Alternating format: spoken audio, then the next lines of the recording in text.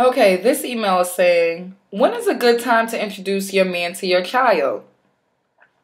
Me personally, I mean, I wouldn't, I would introduce my nigga or a nigga that I'm considering being my dude to my kid early as a friend, like maybe as a friend from work. I don't know, in a public setting. Just because you don't want to fuck with the nigga six months down the line, you can fall in love with a nigga after six months. You fall in love with the nigga after six months. Now you want the nigga to meet your kid. The kid don't like the nigga. What you gonna do? You gonna still be with the nigga after the kid don't like the nigga? You gonna force the kid to like the nigga? You might as well fix it from the beginning and do the proper course of action. All you gotta do is int- like introduce the kid to the man as this is John, the co-worker or something. I don't know. He makes hams at the fucking store. I don't fucking know. But see how the imis- um the chemistry is between the kid and the nigga.